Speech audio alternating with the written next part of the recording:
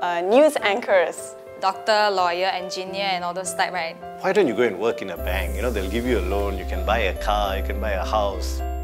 But that never happened.